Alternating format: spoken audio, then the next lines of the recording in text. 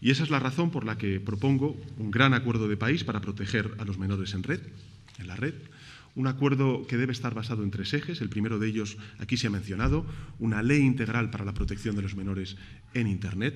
En segundo lugar, el impulso a una estrategia multidisciplinar desde el ámbito educativo, porque la prevención y la formación son absolutamente claves.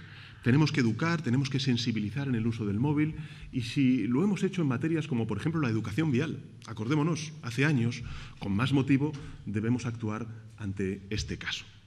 Y tenemos que hacerlo preservando una formación afectivo-sexual integral.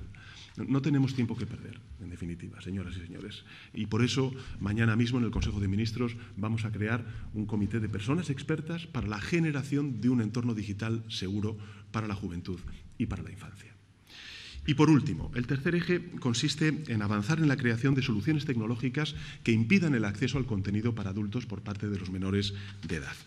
Y en esa hoja de ruta creo que la eh, labor de la Agencia Española de Protección de Datos está siendo determinante y además yo diría que inspiradora no solamente en nuestra sociedad sino fuera de estas fronteras.